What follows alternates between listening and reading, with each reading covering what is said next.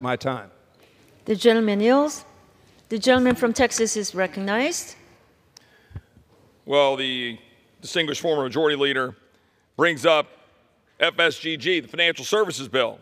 What he left out was the fact that we're going to give $200 million to the FBI for its new headquarters, even after Republicans touted in the last massive omnibus bill that we were cutting the FBI and then relied upon getting rid of an earmark in Alabama to claim that it was a bigger cut than it really is. Now, what is happening to the American people? Guess what?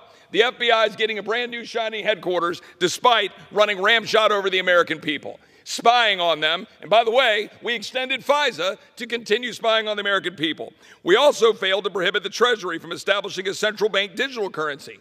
House Republicans passed that, but in this deal that was cut, we don't do that. Why? Why?